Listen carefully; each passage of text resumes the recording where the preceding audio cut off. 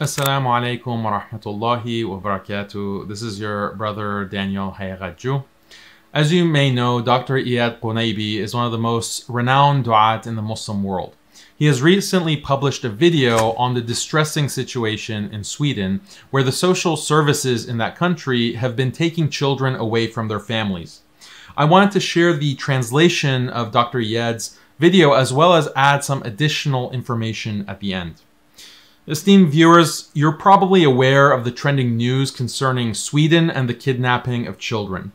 Sweden has issued a strong denial and they've received support from some TV channels like Al Hurra, which is sponsored by the US as is well known.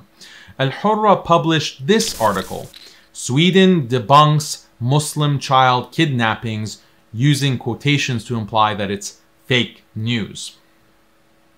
Okay, let's see what this article says.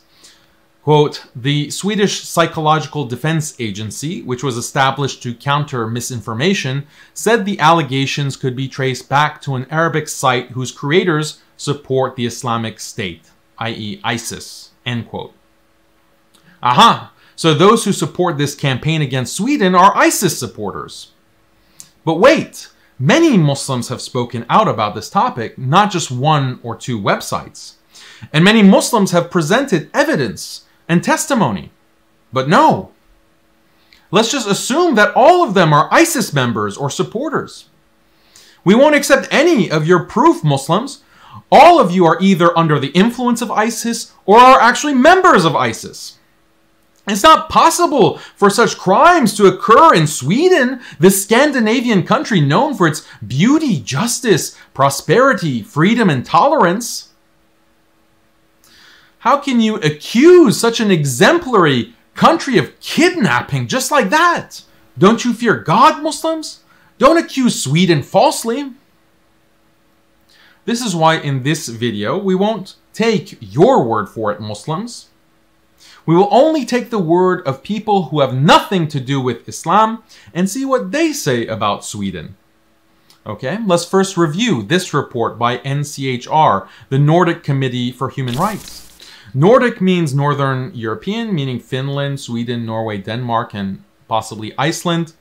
This committee issued a report in 2012 titled, quote, Child Removal Cases in Sweden and the Neighboring Nordic Countries.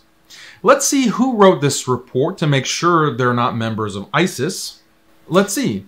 By the way, all the references will be provided for your verification in the description box below the video. This part of the report states, quote, We, the undersigned lawyers, former judges, and law professors, professors of psychology, and investigating psychologists, medical doctors in Sweden, including the lawyers, members of the steering committee of the Nordic Committee for Human Rights, for the protection of family rights in the Nordic countries. Aha, so these are the report authors, and they're all from Sweden. Couldn't they also be ISIS? This report was issued in 2012. As far as I know, ISIS was formed in 2012, and I never heard of it reaching Sweden in its first year, or that some of its members were lawyers, judges, and law and psychology professors.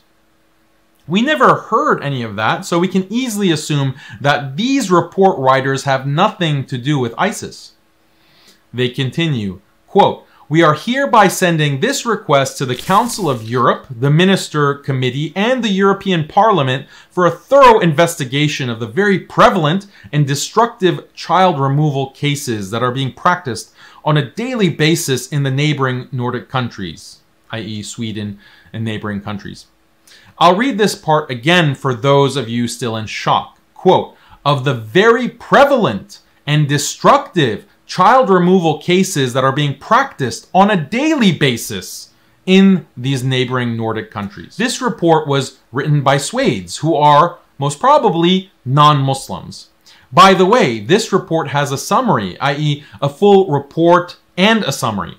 In the summary, you'll find this quote, Background Since the beginning of the 20th century, Sweden and the Nordic countries all have laws which give the social welfare authorities the power to forcibly remove children from the care of their parents on what appears to be arbitrary grounds and place them in foster homes or institutions among total strangers.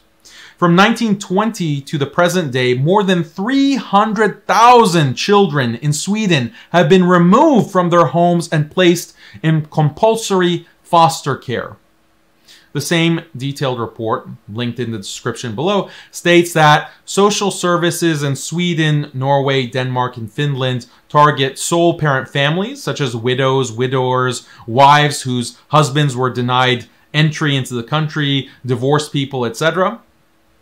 So the social services target such vulnerable families as well as economically and educationally disadvantaged families, families with health challenges and immigrant parents. This is the answer to those who say, no, it's not specific to immigrants. This committee specifically lists immigrant families. The report also says, quote, parents with religious and philosophical beliefs which do not seem to be politically accepted are often deemed as unsuitable parents, which invariably leads to remove the children from their families and place them in foster homes, end quote. Aha! So this conference held 10 years ago confirms that those whose faith or philosophical beliefs do not suit the Swedish authorities will be targeted by the social services in Sweden and others to remove their children from them and place them with foster families. Wow, such amazing freedom in this model secular democracy. Elsewhere in the report, we find, quote, since the beginning of the 1980s, a great number of families have fled from Sweden in order to protect their children from being taken into care and placed into foster homes, end quote. So, families have been fleeing since the 80s once they've realized what was happening. Let us review another reference. Does this reference come from ISIS? No, it doesn't. This reference in Alkompis, which is an Arabic speaking news outlet backed by the Swedish government. Where's the proof that it's backed by the Swedish government? You'll find it in the comments. By the way, this is public info, not a secret. This report was published in 2018 following the symposium. You'll be shocked by how flagrantly candid the report is. So long as they're empty words uttered in these closed halls with no follow-up action, let everyone say what they like, no problem. Let us show everyone how democratic, just, and free Sweden is. After all, there's no follow up, there are no consequences. Whoever has an agenda in mind can implement it as planned, so let people vent and babble away with empty words. Say what you wish, then let us do what we wish. This report on Alkompis's website, which is backed by the Swedish government again, states after a long introduction that the activist Elizabeth gave her speech. Wait, could Elizabeth be ISIS? Probably not. Her name implies that she's not even Muslim. Then the activist Elizabeth gives her speech and talks about her career and the history of social services law in Sweden. She stated that the social department doesn't implement the law as it's enacted and that the report of the social department are approved in court 98% of the time. So the court just rubber stamps its approval on whatever social services want. Elizabeth continues that when she decided with about 40 lawyers to protest against the social services for its abuse and lack of commitment to the law, it didn't work. So she had to go to the European court. So Elizabeth, along with 40 lawyers, were ignored by social services and she went to the European court where they were only allowed to speak for five minutes. Just five minutes. Look how just they are. Observe the justice of the European court. Speak for five minutes, then shut up. She continues, quote, in 2010, 17,200 children were withdrawn, and this is a frightening number. And until 2014, 32,000 children were withdrawn. She added, the government spends endless funds on families where children are placed, estimated in the millions. Swedish foster families that may be Christian, atheist, or homosexual. Families of two men or two women, anything goes. She goes on, quote, and this is an incorrect situation because the social services lure the detained child and provide him with whatever he wishes so as not to return to his family. So, Elizabeth is telling us that they bribe the children by giving them whatever their hearts wish for. Just don't go back to your natural family. They're not suitable for you. The allowance which is paid to foster families is estimated to be between 20,000 and 40,000 krona per month, free of tax, which is about 2,000 to 4,000 USD per month. About the removal of children, Elizabeth said, quote, There are those who encourage this, as there is a commercial market for this thing. Just like a slave market, basically. And this is a dangerous report, and the danger is not only in stripping the child of his original culture, but also on luring him and telling him that if you want to go anywhere, we will send you and they say to him, We are ready to buy you the latest smartphone if you want. And all this just to convince the child to stay with them and to show him that his parents cannot buy such things. In the same report, it states that an attendee asked a question about how to deal with the foster family's tricks to keep a child from attending the interview that the social services sets with his family, i.e., tempting him with an excursion or a fun activity outside at the time of the interview. So the child is removed from his natural family and placed with a Swedish foster family. This Swedish family resorts to tricks to prevent the child from seeing his parents, so they tempt him with trips to the park, sports, etc., so he doesn't see his parents. According to the lawyer Paula, this method must never be used, but reality is one thing and the law is another. This method must not be used. The meeting with parents must be facilitated so as not to confuse the child. Meaning that this trick should not be used, but it's used anyway, and the foster family, or should we say the kidnappers, take the child and prevent him from seeing his parents. There's much more in the report, including a review of the biannual appeal process by the parents to get the child back. When one of the attendees asked how long they should continue submitting appeals, Paula answered that, quote, a lot of people have no experience, so that's why a lawyer must be appointed to take care of this task. Unfortunately, as you say, yes, due to the lack of experience, things drag on six months after six months till years go by, and the parents are unaware. So things could take long years, and you keep appealing and appealing to get your children back without success the lawyer Jihad said, oh, his name is Jihad, so he must be a Muslim, so we can't accept his word. Even though he repeats the exact same things, that these kidnapping families are paid generously, and so they use all means to keep the children with them, by hook or by crook. Then Sheikh Hassan, the imam of a mosque in Malmo, said, Quote, I will talk about a 30 year experience in Sweden where I worked as imam in the Great Mosque and worked on divorce cases. I also work as a consultant and expert with the state on social and religious affairs. I'll offer you some brotherly advice. It's not the social services that comes knocking at your door, it's you who go knocking at theirs. Shame on you, Imam. It's people like you who usually rush in to defend Sweden and embellish its image. Elizabeth the lawyer and Paula the lawyer and a committee of people who have nothing to do with Islam are telling us that the children are kidnapped and bribed to prevent their return to their families. And then the esteemed Sheikh Hassan, the state consultant in religious and social affairs, comes to deliver the backbreaking blow. The Sheikh says, No, you're the reason your children were stolen from you. From such people, we are being stabbed in the back. Anyway, the last question from the Alkompis article, again, a site loyal to the Swedish government, was about a child who was mauled by a ferocious dog in the home of his foster family in Örebro. Who bears the responsibility for this child's death? Just imagine how a family would feel after their child was removed and placed with a foster family then this family neglected him or became angry with him for some reason. Allah knows what happened. So a dog ferociously killed their child. The natural family gets this news. Allah knows if his torn body will be delivered to them or not. The question was asked, what happens in this case? The answer was simply that social services are not accountable. It's the responsibility of the foster family. You saw in Abdullah Sharif's video the case of a girl given to a man, a foster father, who raped her 100 times. He was caught and sent to court, but social services were, again, not held responsible. They only steal children and give them to foster families. Whatever happens after that, the child is eaten by a dog, raped, whatever, no problem. After this testimony came the 20 minute coffee break. Upon the conclusion of the symposium, some lawyers answered some questions, received flower bouquets, and thanked the attendees.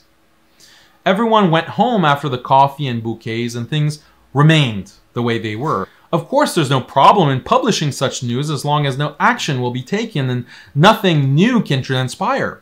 But when did all this become a problem?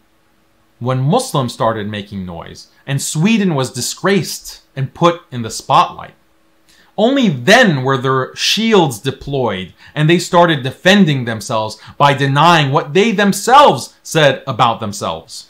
This scientific paper has an answer to those who say, oh, okay, we'll believe you. They abduct children, but in most of those cases, the children benefit psychologically, socially, morally, and ethically. Okay, we believe that they may have lost Islam and they're hereafter, but when it comes to this worldly life, they're probably better off morally and educationally amidst all this prosperity and luxury. Let's see if this is true. This paper is on the Wiley Online Library and has 132 citations, which means that it's fairly popular in the scientific community. But so what? No one cares. It's useless. As long as the media is oblivious and the issue is not trending, no one seems to care. The title is, quote, Into Adulthood, a follow-up study of 718 young children who were placed in out-of-home care during their teens. The paper traces the lives of children who were placed outside their homes, either in foster homes or residential care, meaning not their families. This paper, which follows the cases of 718 of these young people, was issued in 2008 It's not strictly about Muslim children removed from their families, but about all children, some of whom had behavior problems, etc. In all cases, social services in Sweden managed these teens. So let's see how well social services managed and cared for these teens. The abstract of the article states, quote, young women and men from the first group had, in comparison with peers who did not enter care, very high rates of premature death, serious involvement in crime, hospitalizations for mental health problems, teenage parenthood, meaning teens having babies outside of marriage, self support problems, and low educational attainment. Very high rates of hospitalizations for mental health problems were found among young people and placed for behavioral problems. Breakdown of placement was found to be a robust indicator of poor long term prognosis. In other words, long-term catastrophic results. In the same paper, we find, quote, the results for young people placed in secure units were dismal. These are the youth who were placed under foster or residential care. Quote, at age 25, 70% had been in prison or were dead. Not a single one, meaning 0%, was doing well if all negative indications in the outcome ladder were included. 0%. This is what displacement by social services does. Now let's review this November 2020 investigative report by Swedish TV, SVT. The report cites cases where the children were subjected to various cases of abuse beating, addiction, sexual abuse, all in the teen residential care centers, which fall under social services in Sweden. The report included 200 from a total of 1,000 of these centers. Some might respond and say, well, what if their parents were ill treating them, yelling at them? What if they insulted and humiliated them? Aha. By the way, such things are bound to happen in some families. Children are beaten, insulted, or humiliated. It's all possible. And we're absolutely not condoning any of this. But just look at the paradise these children will be placed in by social services. This paradise includes suicide, death, psychological issues, premature death, sexual abuse, the whole nine yards. Let us next read this report from a newspaper loyal to the Swedish government, Aktar, titled, quote, In the Safe Hands of the Social Services. They're so proud of their great achievements for the year 2020. Total number of children taken by the social services was 27,300 during the year 2020 alone. 33% of them, i.e., around 9,000 of them, are under forcible care. We'll remove you from your parents' house and take care of you forcibly. Note the irony in the title, In Safe Hands. We'll see how safe they really are. Let's review additional references. This petition was posted a while ago under the title, Let Our Children Go. The petition was to object to the ongoing fiasco in Sweden with social services removing the children from their families. Hundreds of people participated in the petition before it was shut down. Russian TV published this more than 11 years ago, quote, stolen by Swedish social services. Stolen! Quote, Russian mother slams authorities for taking twins. These poor twins were removed from their mother by force against her wish, and theirs by social services. This is from Russian TV more than 11 years ago. After reviewing this testimony from all these non ISIS references, let's see how the Swedish media is reporting this. On the Swedish SVT channel, this expert from the Swedish Psychological Defense Agency says, quote, threat campaign against Sweden on social media Islamists calling for terrorist attacks. Allahu Akbar! And on Swedish radio, a threat campaign against Sweden calls for terrorist attacks. When we see you lying, so blatantly and see that those who expose your crimes are neither terrorists nor Islamists, how can we trust you after that? How can we believe your reasons for removing children from their families? Wallahi, just tell me how. After all of this, let me address those who discourage and dishearten the bereaved Muslims.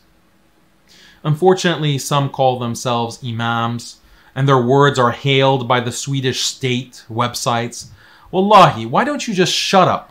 Why don't you just do us a favor and zip your lips?